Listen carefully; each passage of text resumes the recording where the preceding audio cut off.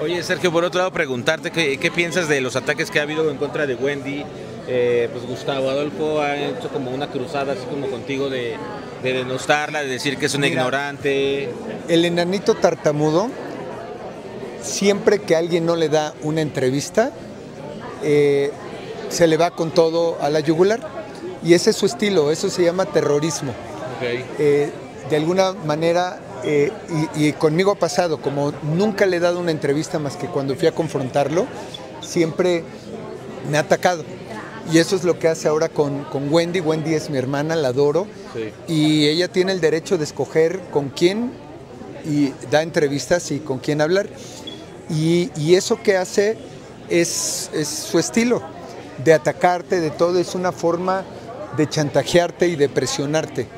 Eh, te ataca para que le dé réplica, este, pero, pero bueno, si alguien tiene labia y si alguien tiene unos, yo diría ovarios, es justamente Wendy, merece todo mi cariño, todo mi respeto y la respaldo.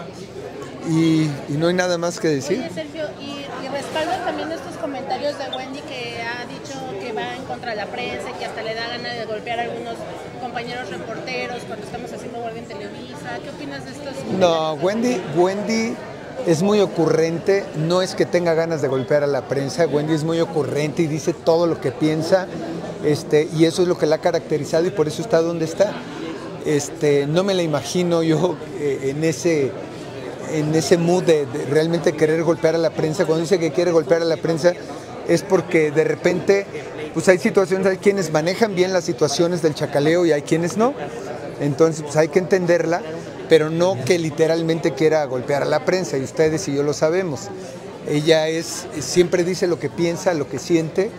Este, y por eso creo que, que le ha gustado a la gente justamente. Oye, y de este reality este, he estado viendo algunas cápsulas. La gente dice que deberían de ser más largos los capítulos. El de Y- Mayer Camila. Familia.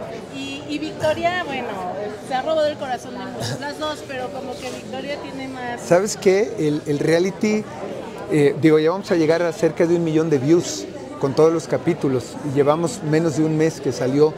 Estamos muy contentos, muy satisfechos. Tomamos la decisión de sacarlo en YouTube para que la gente no tuviera que pagar un solo centavo por ver los capítulos.